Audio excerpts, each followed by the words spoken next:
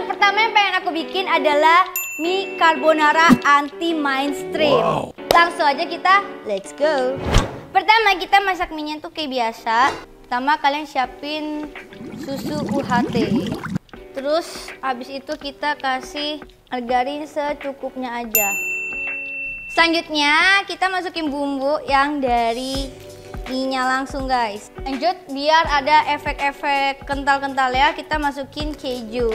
Nah selanjutnya adalah kita masukin kuning telur. Kuningnya aja biar efek kentalnya ada. Sip karena udah mulai creamy. Nah ini optional juga, kalian bisa masukin sosis kalau kalian pengen kasih topping sosis. Lanjut masukin mie-nya ke panci yang sudah kita masak bumbunya. Ini aduknya sebentar aja.